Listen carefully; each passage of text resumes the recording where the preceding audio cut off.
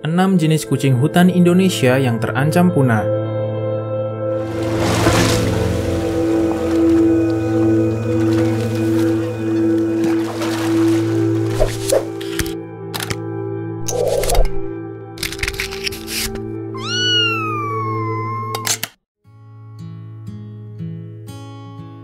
Ada banyak jenis kucing yang dapat kita temukan di Indonesia.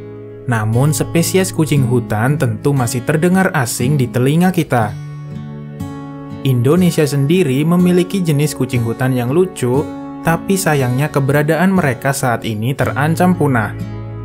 Nah, pada video kali ini, Kucing Meong akan membahas 6 jenis kucing hutan asli Indonesia yang populasinya terancam punah. Tapi sebelum lanjut, jangan lupa untuk klik tombol like, subscribe, dan lonceng notifikasinya ya, agar kalian selalu mendapatkan informasi terbaru mengenai dunia kucing.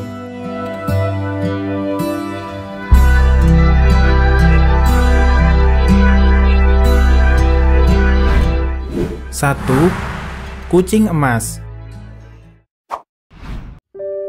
Kucing emas merupakan salah satu kucing hutan yang bisa kita temukan di Indonesia, tepatnya di Pulau Kalimantan dan Sumatera. Kucing ini masih satu famili dengan kucing besar Felidae, sehingga ukuran tubuhnya cukup besar. Kucing emas diklasifikasikan oleh IUCN sebagai kucing yang terancam punah sejak tahun 2008. Maraknya perburuan dan hilangnya habitat membuat spesies kucing ini terancam punah dan sangat dilindungi di Indonesia.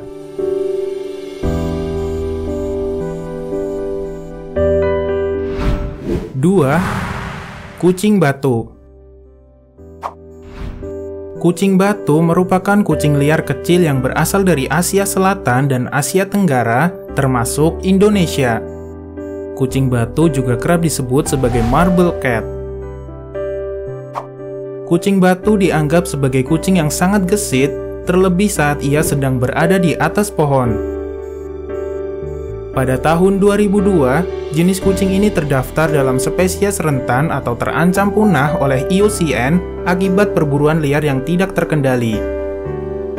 Diperkirakan populasi kucing batu di seluruh dunia hanya ada sekitar 10.000 ekor.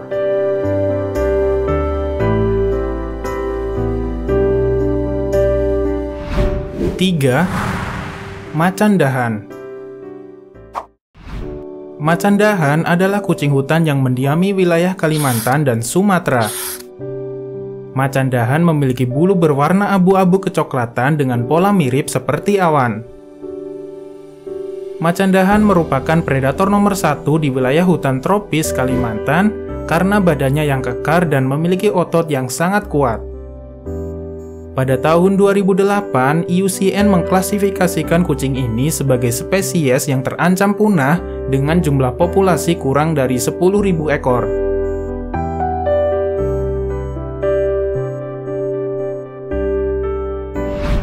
Empat, kucing merah.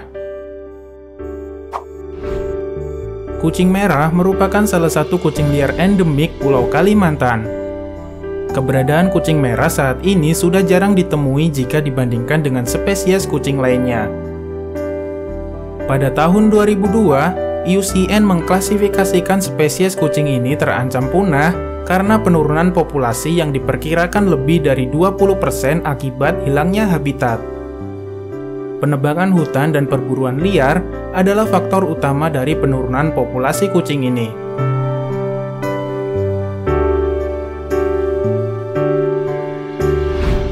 5. Kucing belacan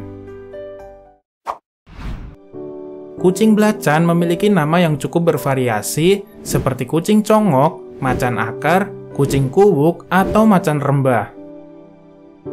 Namun orang barat lebih mengenalnya dengan sebutan Asian Leopard karena coraknya yang mirip dengan macan tutul.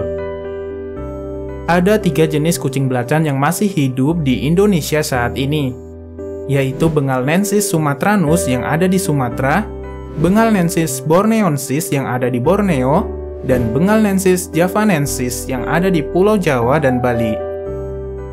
Saat ini kucing belacan menjadi ras kucing hutan yang sangat dilindungi karena populasinya yang diambang akan kepunahan.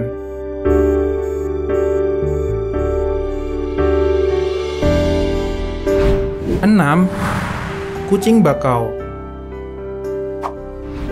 Jenis kucing hutan langka yang terakhir adalah kucing bakau, atau lebih dikenal dengan sebutan kucing pemancing. Kucing bakau hidup di area rawa-rawa atau tepian sungai yang terkena pasang surut air laut di beberapa pulau Jawa. Kucing bakau ini adalah salah satu spesies kucing yang tidak takut dengan air. Bahkan kucing ini justru dapat menyelam untuk menangkap ikan. Pada tahun 2008, IUCN mengkategorikan jenis kucing ini dalam status terancam punah karena habitatnya yang semakin menurun.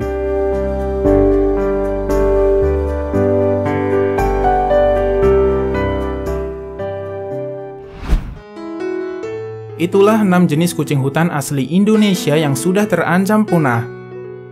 Oleh karena itu, mari kita jaga bersama habitat mereka agar bisa tetap lestari di alam liar.